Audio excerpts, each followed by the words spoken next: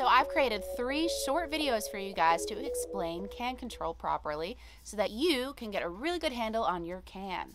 If you can learn how to control your can properly, over time it will become a lot easier and you'll be spray painting like a pro in no time.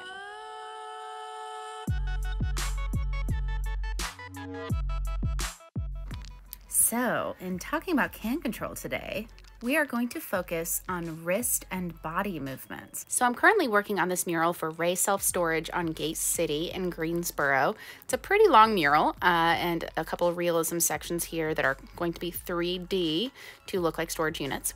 Anyway, so let's talk about the wrist movement. If you're moving your wrist a lot like so, that's not what you should do. Okay, so you need to actually keep your wrist straight with your arm. By keeping your wrist straight, you can actually get much more even coverage. As you can see here, I'm keeping my wrist nice and straight. I know it's kind of hard to see. I kind of cropped that out. Sorry, guys. I'm still getting used to this whole GoPro thing.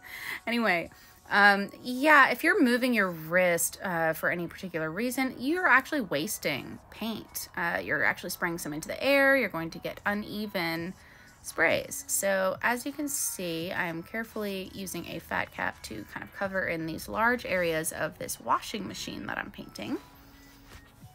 Another important thing to note when using a fat cap especially, try not to paint too much in one particular area. If you miss a spot, just go back over it a little while later.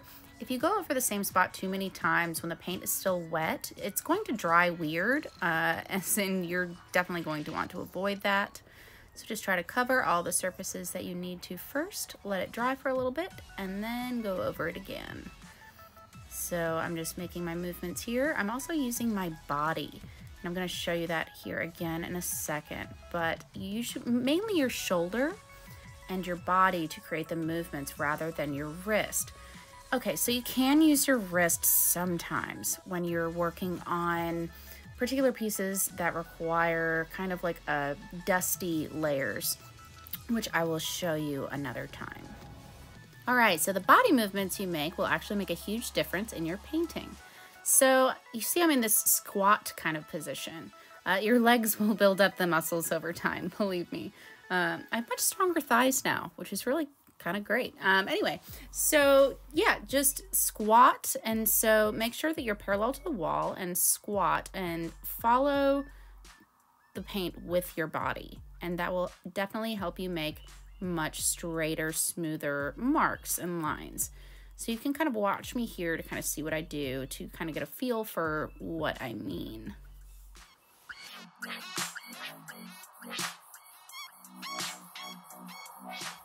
So when creating straight lines with moving your body and trying not to move your wrist at the same time, it's also a good idea to kind of trace the area that you're going to paint first. So you can see me kind of trace, air trace this line. So I'm not actually spraying.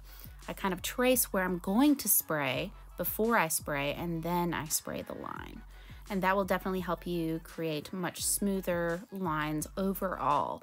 So say you have one particular line you want to paint, just kind of air spray it, air paint it as I call it, air painting. It's like, you know, air drums or whatever. Anyway, so yeah, air paint it and then paint over it again with actual paint and you will get much more accurate lines.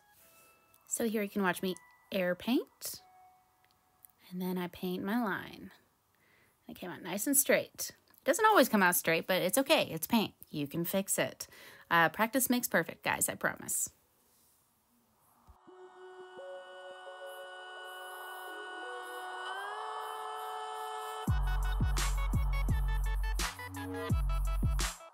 So again with the body movements, if you keep your feet kind of parallel to the wall and you kind of move your body and your shoulder, you're able to get much straighter lines.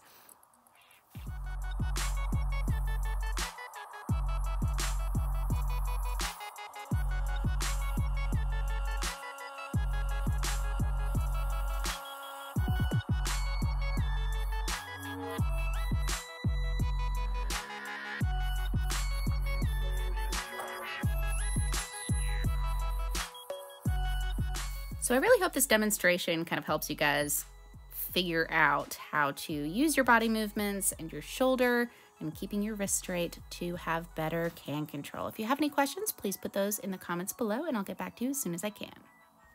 So here's the progress I made today. Still working on it, but it's getting there. Thank you guys so much for watching. I really hope you enjoyed this video. If you did, please click that like button for me. I'd really appreciate it. And also be sure to click subscribe if you haven't already. I have many more videos coming up for you. Uh, our next video is going to be Can Control Part 3, and that is going to drop tomorrow. So also click that notification bell so you can be notified exactly when I drop that video. I hope everyone has a fantastic day. Remember to stay peaceful, as a calm mind is a creative mind. Now go get inspired, be an influence, and make something beautiful today.